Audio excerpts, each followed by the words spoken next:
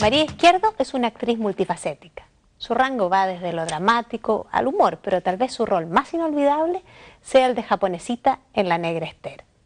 Willy es actor de teatro y cine y además director.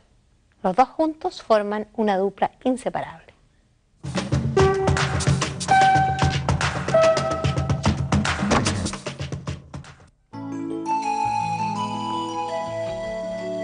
Como amigo éramos inseparables. con el Willy tenemos muchos gustos muy, muy parecidos.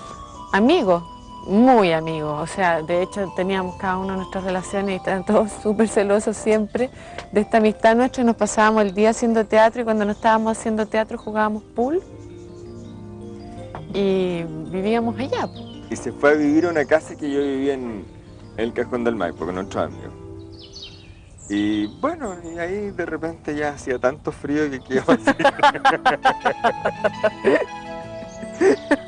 Aquí están todas las señoras. Y llegó un momento en que ya se empezó a notar que no, no era tan fácil dejar de vivir juntos, porque se estaba desarmando esa comunidad.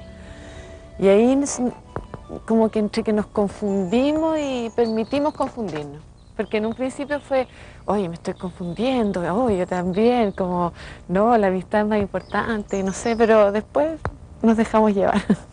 Uno tiene un, tipo de conversación y un tipo de relación que es anterior que la conoce, que se maneja en ella y a la que puede apelar antes de tirarse el azucarero por la cabeza, ¿no? Cosas por el estilo. Aquí tiembla siempre. Aquí tiembla aunque no tiemble. Entonces así tiembla. Y se mueve todo. Al principio cuando llegamos éramos una especie de clan, ¿no? Una especie como de tribu.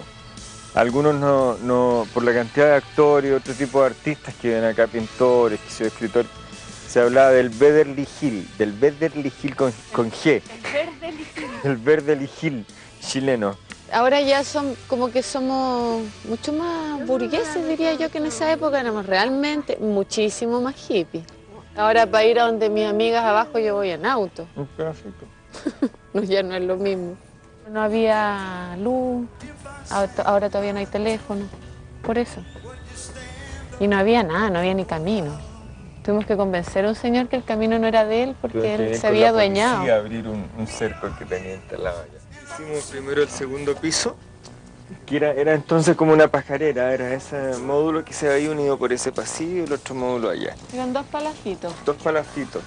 Y estaban montados sobre estos pilares que son es una madera muy especial, solo se da en Chile, esto siempre es de la Guayteca. Y después cuando nacieron las pequeñas bestias fuimos ampliándonos para abajo, cuando nació el Julián ya necesitábamos más espacio. También.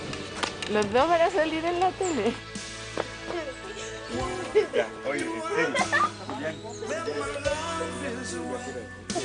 Yo me pongo más nervioso como director que como actor en todo caso. Claro, y siempre tengo una pelea con alguien en vísperas del estreno, siempre alguien paga el pato. La María se pone bastante aprensiva. ¿eh? Se, va muy para adentro y se reconcentra muchísimo, entonces hay que tener mucho cuidado de, regalonearla mucho y de no perturbarla en ese estado. En una época era, sobre todo al principio de la etapa de ensayo, como que el Willy me usa para exigir. a los demás.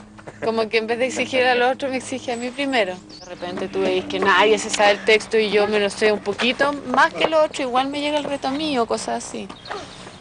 como por ejemplo pero no, nada grave. Es que no voy a retar a la Munchmeyer, pues te tengo que retar a ti, ¿sabes? Es el caso más explícito. no puede retar. A la Glorita no me la reta nadie, pero a ti...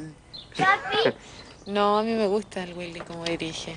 O sea, si fuera mal director sería súper difícil, porque tendría que amarlo, además, igual, no sé.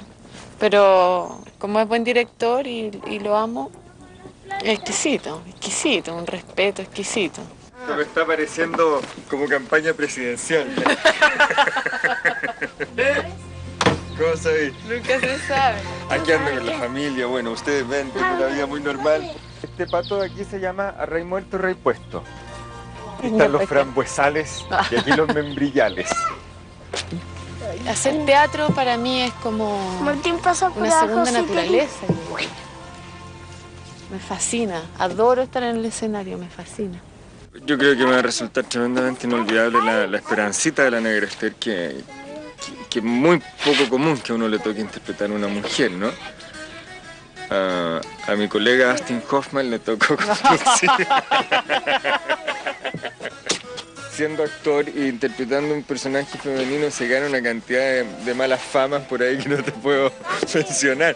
La japonesita fue realmente un trance y no una experiencia que yo haya vuelto a tener. El caso de la negra Esther es una conjunción astral, nosotros siempre lo definimos así. Estábamos todos cero pesos, nos daba lo mismo, trabajamos en un galpón que no tenía vidrio, muertos de frío y todo daba lo mismo. Lo único que importaba era echarle para adelante con los ensayos, estábamos rayados.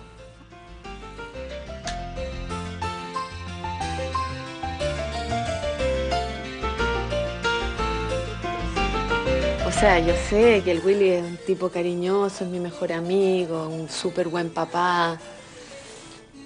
Pero son puros lugares comunes, no, no quiero contestarte tu pregunta. No María una conjunción de personajes shakespearianos que deambula entre Julieta, por ser tan romántica, Desdémona por ser tan ingenua, tiene mucho de,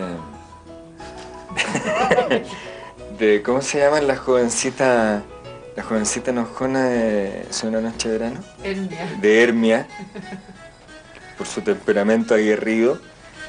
Y pero al final de cuentas es la fierecilla mamá.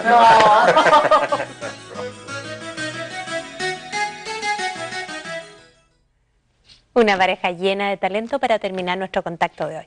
Nos vemos sin falta el próximo jueves. Buenas noches y muchas gracias. Universidad Católica de Chile Televisión presentó